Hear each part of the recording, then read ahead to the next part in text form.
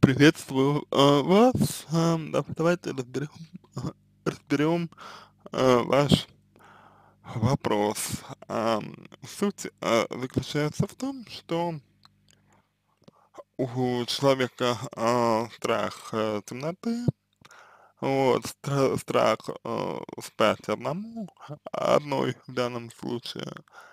И человек говорит о том, что, в общем-то, там, когда с кем-то спит, то все хорошо, Вот когда спит одна, то, соответственно, или находится одна, ну вот, а, то в темноте, да, то а, слышит какие-то шаги, вот, э, когда спит одна, снится что-то плохое, вот, воображение рисует там монстров, привидений, привидений, вот, до пятнадцати лет, э, значит, спала с родителями, пока они не развелись, потом спала с мамой, с сестренкой, а папа очень злился, что вот вы, вы спите с ними.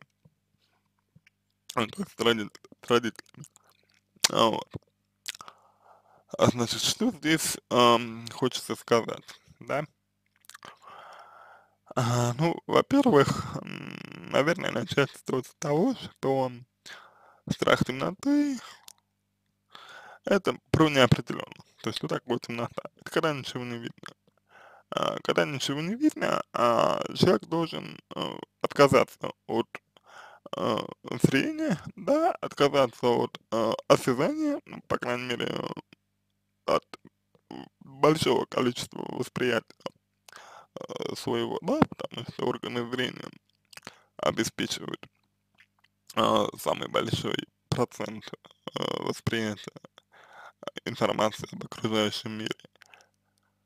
Вот. И человек должен перейти как бы на, на другие а, органы чувств. Вот. Соответственно, для того, чтобы это сделать, а, нужно, во-первых, во-первых, а, быть в контакте со своим э, внутренним миром, да, быть в гармонии со своим внутренним миром, опираться на него, дове- доверять ему, а, черпать э, из него ресурсы, энергию, это с одной стороны. А с другой стороны, нужно не бежать от чего-то в себе, да, вот. А у вас получается история, что вы себе не доверяете. Да, то есть вы чего-то боитесь, вы не знаете, как на что-то реагировать и так далее. Поэтому в первую очередь здесь нужно именно с этим работать. Да? Второй момент. Это то, что вы спали с э, роди- родителями до 15 лет. Говорит о том, что вы не э, получили автономность. То есть вообще-то э, спать отдельно уже нужно в возрасте там, два, двух, двух-трех лет. И в этом смысле, как бы, э, родители, они дол- э, должны э, сепарироваться немножко от вас. То есть показать вам, что вот это мы, а это ты. Ты спишь тут, мы, спим тут. Все, точка. Да? В вашем случае этого не, не произошло. Вот, в вашем случае случилось так, что мама как бы потакала вам. Вот, и, соответственно, почему-то хотела, чтобы вы спали вместе с ним. А, с учетом, ну, да, вместе с ней и папой. А, с учетом того, что вы описываете, что ра- ваши родители развелись, я полагаю, что у них были проблемы у ваших, у ваших родителей. И, возможно, мама не хотела, а, ну, хотела, чтобы вы спа- спали а, с ней и папой именно в контексте этих проблем. Вот. Сейчас это бегство. Бегство. Поэтому вам автономию не дали. С одной стороны, вы не научились автономии, с другой стороны, э, та тревожность, то избегание, которое э, транслировалось вам, да, мамой, теперь, теперь есть ва- у вас. То есть мама ночью не хочет оставаться наедине с папой, вот, не знает, что делать, ну, потом она, конечно, с ним развелась, но вот какое-то время она не знала, что с ним де что с этим делать. И использовала вас как бы, э, как щит в данном случае, да. А, соответственно, вы теперь используете как щит своего, э, парня. Вот, когда появится ребенок, вы будете ребенка использовать как, как щит. То есть, то есть это проблематика личных личных личных границ у вас и автономность, э, вашей собственной автономности. Ага, есть еще э, две вещи, которые я хочу сказать, э, может быть даже три.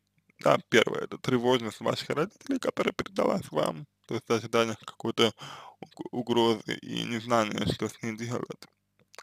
А, второе, это, возможно, травмированность э, темнотой. Ну, то есть, может быть, вот у вас э, действительно э, с темнотой связаны э, какие-то неприятные эпизоды в вашей жизни, и вы это не прожили в полной мере и в полной мере не получили обратную, обратную связь. Вот. И, а, и последний, третий момент касается того, что а, монстры, которых вы рисуете, это агрессия,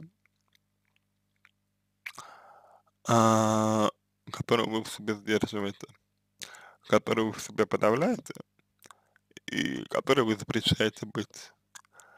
Это тоже очень важный момент, потому что если агрессия, это ваш щит, если агрессию в себе подавлять и запрещать себе ее, ну, я имею в виду здоровую агрессию, вот, когда э, по отношению к вам совершают что-то что-то что-то непри, неприемлемое, вот, то как бы возникает как раз таки вот это ощущение беспомощности, беспомощности. Поэтому и шаги, а, и монстр, и привидения, и, и прочее, и прочее, это проекция, то есть перенос а, вашей фантазии, агрессии.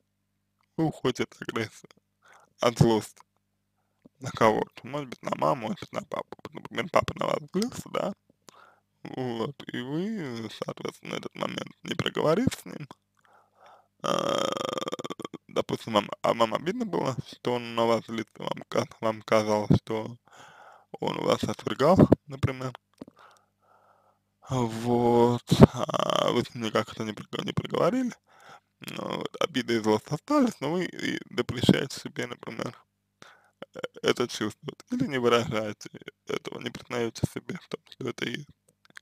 Ну, а мама то же самое, может быть, что на других людей, людей в целом.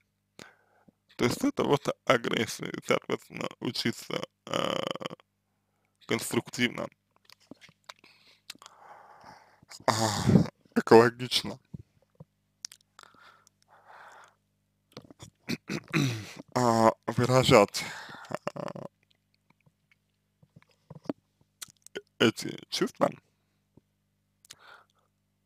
крайне необходимо для того, чтобы вам идти по жизни.